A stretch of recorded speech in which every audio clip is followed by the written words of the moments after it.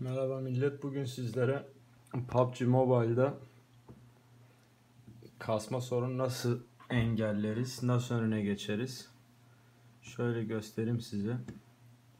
Bu oyunu ilk indirdiğimizde olan ayarlar az bir şey kasıyor.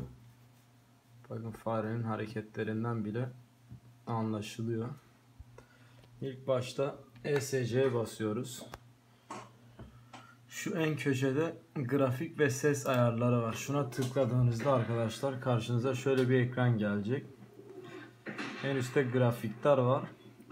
Burada dengeli bir altındakinde de orta ayarlarda oynanılıyor. İlk oyunu indirip oynamaya başladığınız zaman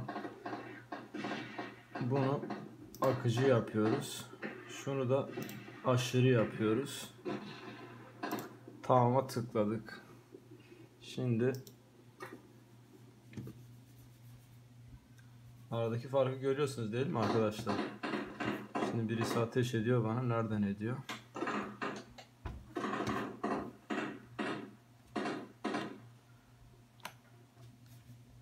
Bakın gördüğünüz gibi kasma sorunu ortadan kalkmıştır.